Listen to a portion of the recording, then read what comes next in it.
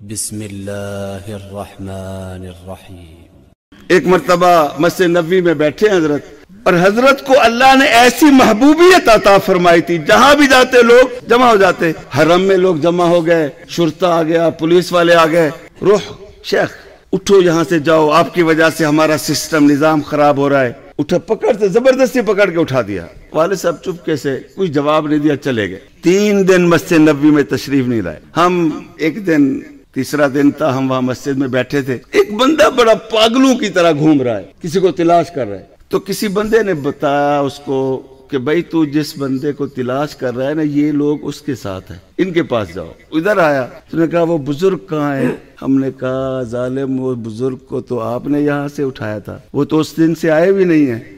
کہتا خدا کے لیے مجھے ان کے پاس لے چلو۔ اب وہاں لے گئے تو دھارے مار کے رونے لگا۔ اللہ کے لیے مجھے معاف کر دے۔ اس دن سے لے کر آج تک ایک لمحہ میں نہیں سو سکا۔ جب بھی سوتا ہوں، آقا خواب میں تشریف لاتے ہیں اور فرماتے ہیں، نکل جا تو مدینے رہنے کا حقدار نہیں، میرے دوست کو تو نے میرے مسجد سے نکالا ہے۔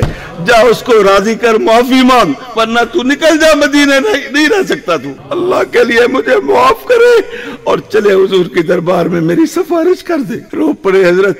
اس کو کہا، میں نے معاف کیا، اللہ ساتھ آ گئے۔ روز رسول اللہ پہ آ کے سلام کہا۔ الصلاة والسلام عليك يا سيدي يا رسول الله یہ سلام کہاں پڑھا جاتا ہے جہاں حضور موجود ہیں؟ اور حضور کہاں موجود ہیں؟ بولو، مدینہ منورہ میں، امی عائشہ کے حجرہ میں۔ حضور جنت میں موجود ہے کہاں موجود ہے وہ جنت امی عائشہ کا حجرہ ہے۔